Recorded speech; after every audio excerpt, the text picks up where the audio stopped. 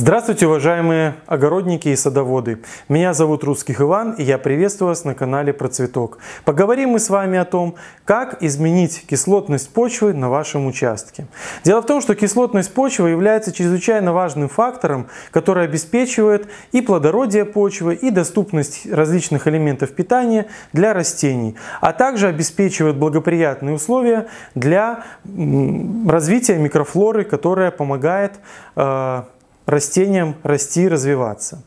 Дело в том, что в большинстве регионов почва обладает неблагоприятной кислотностью для растений. Благоприятной является нейтральная реакция почвы. В Республике Беларусь большинство почв имеют кислую реакцию. В более южных регионах, особенно там, где э, имеются засушливые условия, можно столкнуться со щелочной реакцией почвы. Что же делать, если реакция почвы у вас не оптимальная и ее надо как-то менять?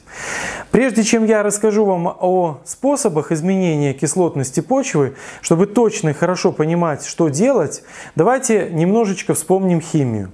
Дело в том, что кислотность почвы обуславливается как кислотами, которые находятся в почве, хотя это чрезвычайно редкий случай, свободных кислот в почве нету, разве что угольная кислота – это растворенный в воде углекислый газ. Хотя и эта кислота может а, сделать неблагоприятными условия почвенные для существования растений.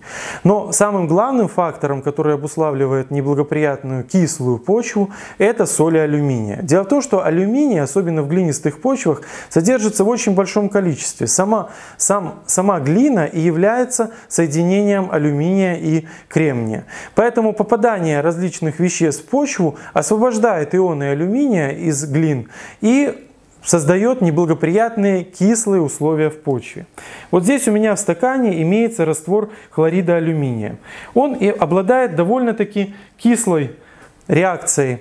И, соответственно, высвобождение алюминия является неблагоприятным фактором. Что же влияет на высвобождение алюминия из глины и других типов почв? В первую очередь это хлориды. Когда мы пользуемся хлорными удобрениями, удобрениями, которые содержат хлор, мы обогащаем почву хлором, хлоридами. И эти хлориды очень медленно, но постепенно и постоянно способствуют высвобождению алюминия и формированию растворимых солей алюминия, ну в частности хлористого алюминия. Соответственно, наша почва закисляется закисляется. Что же в этом случае делать? Для того, чтобы скорректировать кислотность почвы, необходимо применять исключительно кальций содержащие препараты. Ни соду, то есть ни какие-то там э, другие доморощенные способы, которые вам могут рекомендовать в интернете или в журналах, никогда не используйте. Особенно не используйте соду. Почему?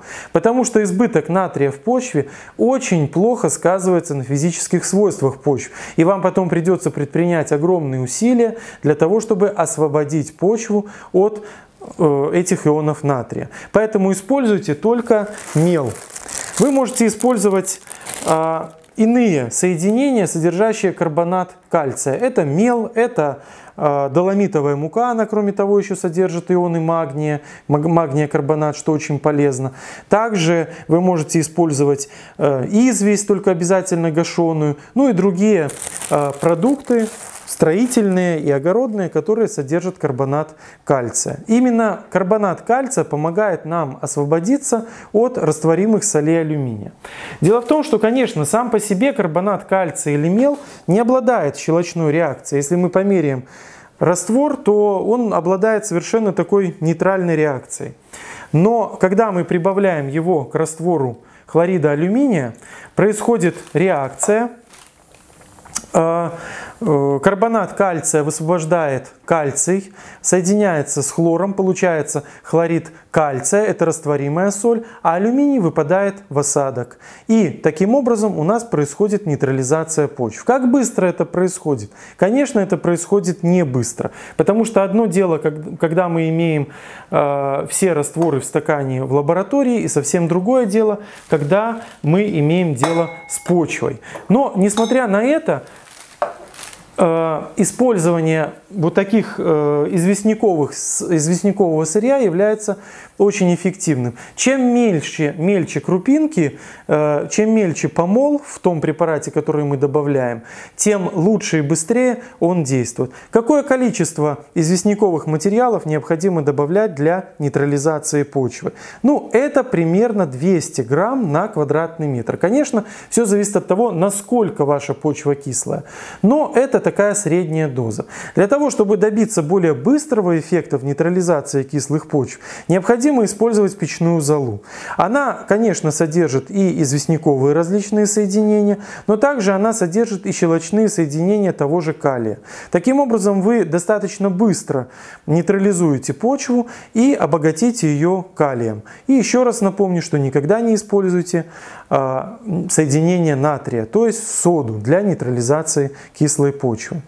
Что же делать с хлорсодержащими удобрениями? Когда мы осенью вносим калий хлористый, мы считаем, что хлор вымоется талыми водами, попадет, уйдет из корня обитаемого слоя и не будет наносить никакого вреда. Но здесь на самом деле есть только доля правды.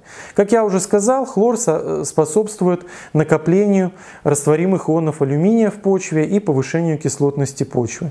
Что же делать, чтобы удалить избыточные хлорид ионы? К сожалению, никаких способов для удаления э, хлорид ионов не существует. Нам просто надо обильно поливать землю в случае, если у нас имеется засушливый период. В теплице набрасывать снег, а вообще, особенно в теплицах, в закрытых каких-то э, в укрытиях, э, в каких-то местах, где мы выращиваем под укрытием растений, использовать бесхлорные калийные, удобрения, а именно калия сульфат. Что же делать с почвами, если они имеют наоборот, щелочную реакцию, меловую реакцию.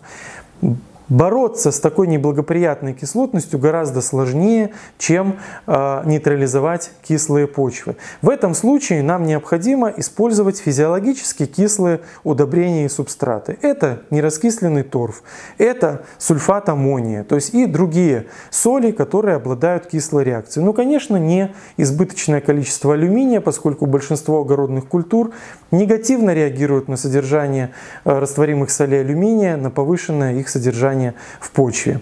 Я надеюсь, что этот маленький эксперимент позволил вам а, лучше понять, как бороться с неблагоприятной кислотностью почв, какие именно материалы использовать для э, нейтрализации кислых почв и что делать, если у вас наоборот меловые почвы и вам необходимо их немножечко подкислить и сделать более благоприятными для растений.